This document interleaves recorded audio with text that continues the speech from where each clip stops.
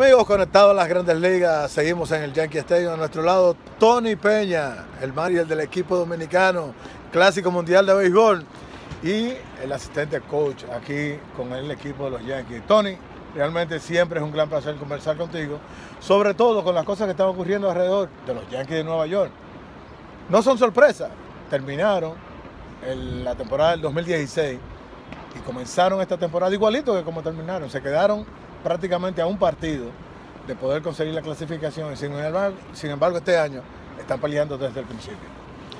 Pues antes que nada, darle un saludo a todo el país dominicano y yo creo que sí, que estamos eh, viviendo eh, unos gratos momentos aquí eh, con, los, con, los, Yankees.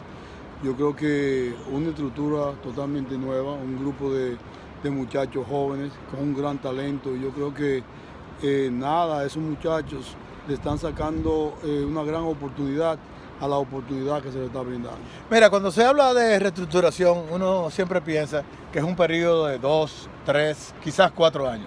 Sin embargo, los Yankees de Nueva York, cuando llegó la época de cambio el año pasado, prácticamente salieron del conjunto completo de todos los nombres, comenzaron a traer muchachos jóvenes y comenzaron esa reestructuración que comenzó a dar los frutos inmediatamente. O sea, prácticamente el mejor equipo en la segunda parte de la temporada fueron precisamente los Yankees de Nueva York. Y este año comienzan igualito. O sea, el equipo de los Yankees es obligatorio que tiene que estar en contienda independientemente que esté en reconstrucción. Oye, yo uso la palabra eh, de reconstrucción por un decir. O sea, nosotros tenemos eh, un grupo de muchachos que tienen un gran talento. Pero nosotros comenzamos la temporada del año pasado. Comenzamos con, con Alex, Carlos Bertrán, McCain, Antishare. Cuatro hombres que estaban en el medio de la alineación. O sea, este año pues se, ve un equipo totalmente diferente, por eso uso esa palabra. Eh, nosotros tenemos, eh, por ejemplo, tenemos un primera base joven, tenemos un receptor joven, tenemos un right field joven, tenemos un cuarto field joven, tenemos un segunda base joven, tenemos un tercera base joven y un grupo de lanzadores jóvenes.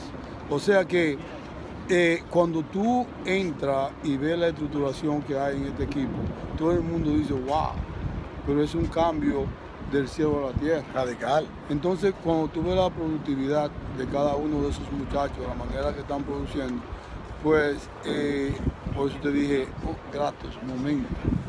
¿Por qué? Porque lo estamos viviendo. O sea, el hecho de que este equipo no tenga tantos nombres, y recuerda el lema mío, que yo creo en hombres, no nombres, sin quitarle ningún mérito a ninguno de esos claro, claro. que estaban aquí. Que hicieron lo de ellos, hicieron lo de ellos. Exacto, que estaban aquí el año pasado. Pero es un equipo totalmente diferente y un equipo que eh, se está viendo que es un equipo que se juega más agresivo, se corre más la base. Tú ves que hay más robos de base este año que los años anteriores. O sea que eh, no es que nosotros eh, pensamos que no vamos a llegar. Mira, Stanley Castro fue prácticamente el único nombre que no se cambió el año pasado. O sea, los Yankees de Nueva York decidieron que Stanley iba a ser la cara del equipo. Comienza esta temporada con unos números extraordinarios, eh, peleando prácticamente todos los lideratos. Bueno, lo dejo Ronnie porque Hughes no le da chance, no le da chance a nadie que pelee esa situación, pero lo de Stanley Castro, o sea, ¿qué tú nos puedes decir con relación a eso? Bueno, eh, todo el mundo sabe los números que puso Stanley Castro en sus primeros años con los, Chicago Cubs. Eh, un muchacho que apenas tiene 27 años. O sea, todavía Stanley Castro es un bebé. ¿Qué pasa? Llegó a Grandes Ligas joven y se ve como un veterano, pero no, es un muchacho joven. O sea que los números que está poniendo Stanley Castro en lo que va de temporada, a mí no me sorprende para nada, porque Stanley cuando subió a Grandes Ligas era un bateador natural. ¿Y el rol de líder dentro del conjunto? Pues fíjate, eh, eh, eh, el equipo de, los Yankees tiene muchos líderes, cada quien es líder en su posición, y yo creo que, que cada quien sabe cuándo puede expresarse, pero una de las cosas que estamos viendo es la unidad que hay dentro del equipo, la química que hay dentro del equipo, donde cada uno de esos muchachos tratan de ayudarse unos a los otros. Entonces háblame del fenómeno Aaron Josh. Bueno, eh, eh, George, eh, George es un tipo que, que, que, todo el mundo sabe lo que, lo que puede hacer. Es un talento increíble. O sea, ese muchacho tiene una fuerza, pues,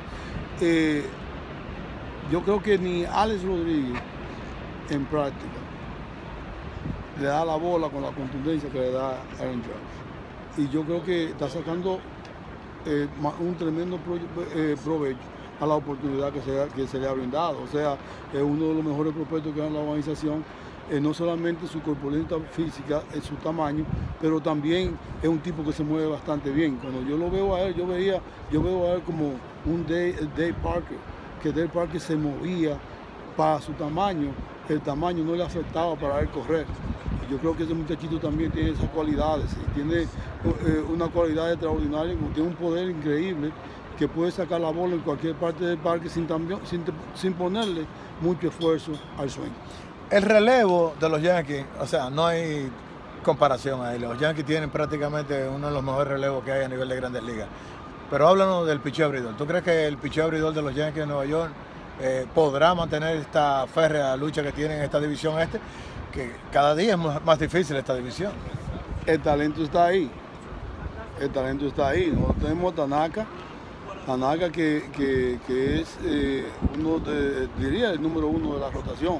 Si Sebastián que, después que, no tenía su velocidad, tomó un poquito de tiempo para, para poder aclimatarse a lanzar con la velocidad que tiene y, todavía sigue pichando extraordinariamente bien.